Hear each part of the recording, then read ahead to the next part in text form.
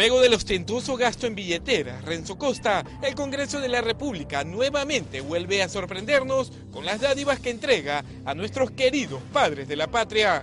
Esta vez, el Parlamento Nacional decidió entregar a cada uno de los legisladores una tarjeta de débito que contiene la suma no rechazable de 1.500 soles.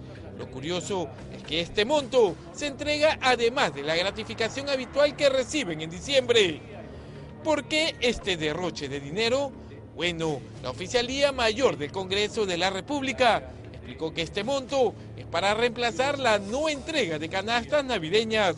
Es decir, con los 1.500 soles podrán comprar su pavo y una bolsa de víveres. Esto siempre se ha dado así. Este año hemos reducido, hemos reducido el presupuesto en mucho esta intervención o, o estas agasajos que se, siempre se les daba a los trabajadores. En el último año, el Congreso solicitó al Ejecutivo el aumento de su presupuesto a más de 600 millones de soles, un pedido que fue aprobado inmediatamente. Para Daniel Abugataz, expresidente de la mesa directiva del Parlamento, el responsable de este despilfarro es Palacio de Gobierno. Esto es parte y en gran parte es culpa también eh, del Ejecutivo, eh, que ha permitido que esta gestión incremente en más de 200 millones de soles el presupuesto del Congreso de la República. Y estamos viendo en qué están usando el dinero.